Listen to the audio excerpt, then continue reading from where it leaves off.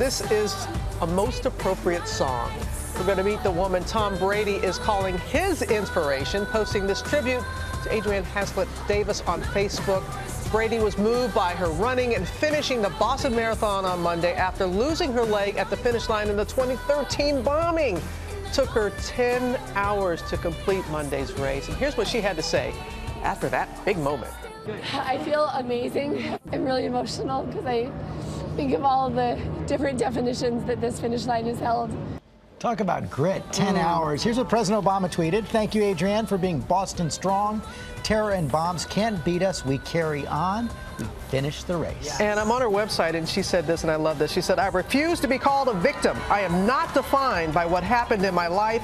I am a survivor defined by how I live my life. Yes. Woo, chill bumps. Wow. Look, enjoy that last step right there. That was great. Uh, totally worth it.